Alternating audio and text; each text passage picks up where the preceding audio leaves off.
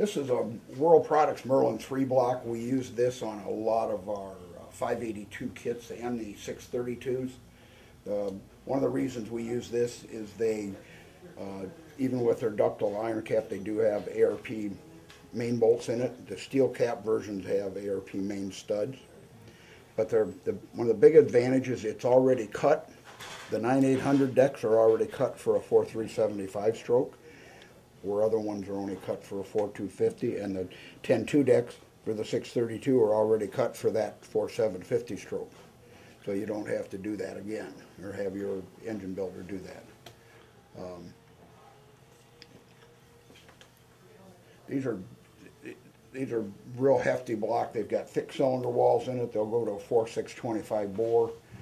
Uh, they've scalloped the block to put more water in. They have more water than a stock block, even though the cylinder walls are uh, almost double the thickness. You can go on our website, usaperform.com.